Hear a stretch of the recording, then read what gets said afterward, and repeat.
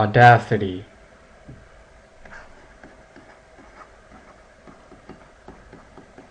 Audacity. Obama's book The Audacity of Hope and Dreams from My Father returned to the bestsellers list.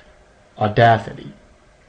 Here is a picture of this woman climbing. And it takes a lot of audacity, it takes a lot of boldness to be able to rock climb, you know, because it's such a dangerous sport.